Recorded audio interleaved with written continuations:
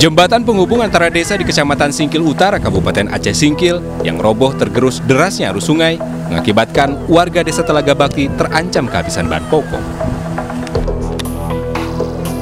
Hal ini lantaran jembatan tersebut merupakan akses penghubung untuk mengangkut bahan pokok ke satu-satunya penjual bahan pokok di desa tersebut. Penjual sembako Rahmat Berutu mengatakan, stok bahan pokok di tempatnya saat ini sudah nyaris habis dan dirinya kesulitan mendatangkan barang dari luar dikarenakan jembatan penghubung putus.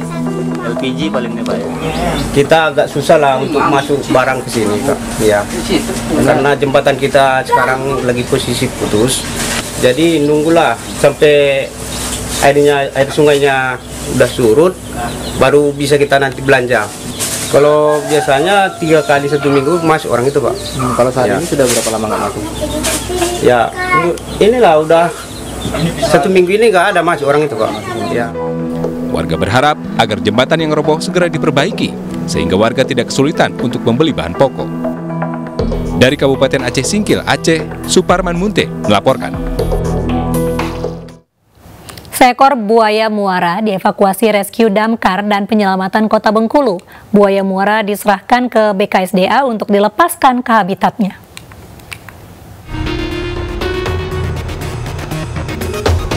Mendapat laporan dari warga, seekor buaya muara masuk ke keramba apung ikan milik nelayan di muara pantai ujung Jenggalu, Kota Bengkulu.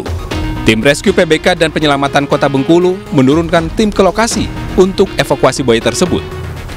Buaya terjebak di dalam jaring keramba karena hendak memangsa ikan peliharaan warga dan tidak bisa keluar.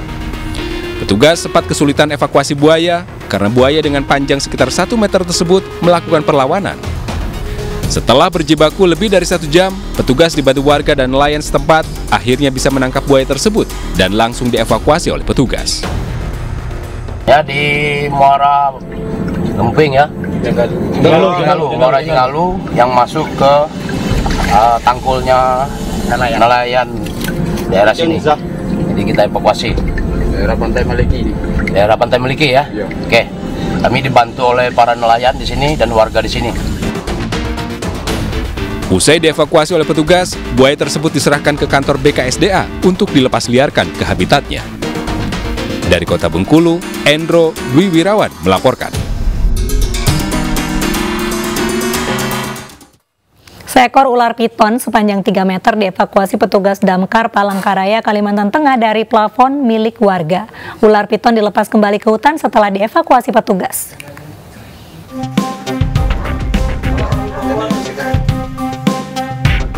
Tim rescue damkar Kota Palangkaraya, Kalimantan Tengah mengevakuasi seekor ular piton dari atas plafon rumah warga di Jalan Hiu Putih 1, Palangkaraya. Petugas mengevakuasi ular dengan panjang 2,8 meter dari atas plafon dalam waktu kurang dari setengah jam. Ular yang sempat melawan tersebut kemudian dievakuasi keluar rumah dan dimasukkan ke dalam karung agar tidak kabur dan menyerang petugas maupun warga. Di situlah terlihat dan di atas plafon itu banyak daun-daun eh, dari daun bambu juga daun-daun pohon yang sudah masuk ke dalam situ. Di situ banyak diperhitungkan ada tikus di situ dia datang. Dengan membutuhkan waktu 17 menit kami sudah dapat tangkap itu ular. Ternyata ularnya adalah ular piton. Ular piton dibawa petugas damkar Palangkaraya Kalimantan Tengah untuk dilepaskan kembali ke hutan. Dari Palangkaraya Kalimantan Tengah, Ade Sata, Anyus melaporkan.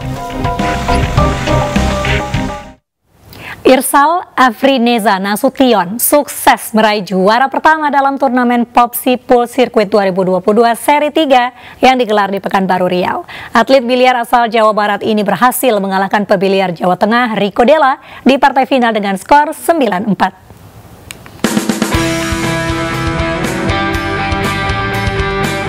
Pebiliar Irsal Afrineza Nasution menang telak dengan skor 9-4 dalam pertandingan yang digelar di Arena Pekanbaru Riau.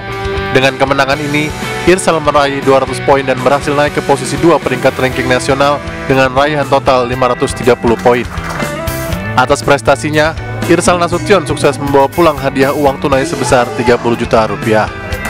Atlet biliar asal Jawa Barat ini hanya selisih 80 poin dari Ferry Satriadi, juara Popsi Pool Circuit Seri 1 sebagai pemuncak klasmen. Sementara itu, Rico Della yang menjadi runner-up kini berada di posisi 11 ranking nasional dengan torehan 210 poin.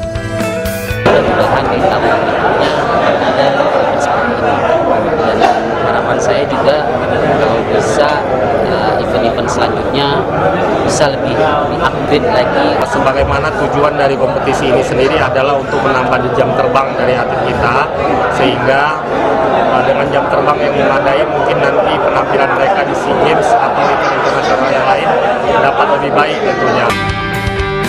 Kepala Dinas Pemuda dan Olahraga Provinsi Riau, Boy Rahmat, mengapresiasi PB Popsi yang sudah menunjuk Pekanbaru untuk melaksanakan kejuaraan tingkat nasional. Saya kira ini suatu ajang yang harus kita manfaatkan, terutama dalam pembinaan dan pengembangan atlet biliar. Turnamen biliar pool sirkuit seri 3 2022 yang digelar Popsi di Pekanbaru diikuti 60 atlet biliar Indonesia dari 14 provinsi. Dari Pekanbaru Riau, Indra Yos Rizal News melaporkan.